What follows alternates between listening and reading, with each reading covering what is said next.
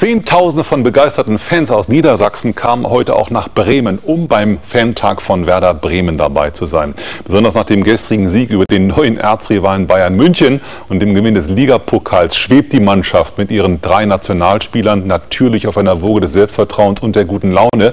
Beste Voraussetzungen also für die Fans, diese gute Laune der Stars auszunutzen und ihnen möglichst nah zu kommen. Wie weit das möglich war, schildert uns Joachim Reinshagen.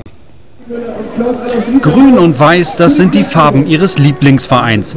Bianca Ulrich ist extra mit ihren Freundinnen aus Braunlage im Harz hergekommen, nur um ihre Lieblingskicker einmal hautnah zu erleben. Sie war 2004 zur Meisterfeier, hat ihr Ailton die Hand gegeben und da hat sie noch Monate von geschwärmt. Und da wollte sie unbedingt mal wieder die Spiele aus der Nähe sehen, weil das was anderes ist als immer nur im Stadion von weit weg. Und heute haben wir hoffentlich die Chance, mal näher ranzukommen. Miro Klose, Thorsten Frings und Tim Borowski. Rund 30.000 Fans sind neugierig auf die Mannschaft. Der Tag der Fans rund um das Weserstadion hat mittlerweile Tradition. Tore schießen wie die großen Vorbilder. Besonders bei den jungen Fans ist die Werder-Party sehr beliebt. Bereits am Vormittag das öffentliche Showtraining der Werder-Mannschaft. Nach dem 2-0-Sieg im Ligapokal gestern gegen die Bayern ließen es die Spieler heute ein bisschen lockerer angehen. Inzwischen scheint auch klar, Nationalspieler Per Mertesacker wechselt von Hannover nach Bremen. Beide Bundesliga-Clubs sollen sich nach Agenturangaben bereits auf einen Transfer geeinigt haben. Die lange Anreise hat sich gelohnt. Dass wir extra hierher gekommen sind, um das zu gucken. Also das finde ich richtig toll, so ein Fußballspiel, also so ein Fußballtraining zu gucken. Also ist schön.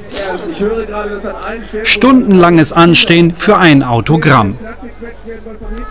Der Kontakt mit seinen zahlreichen Fans ist auch für WM-Star Thorsten Frings sehr wichtig.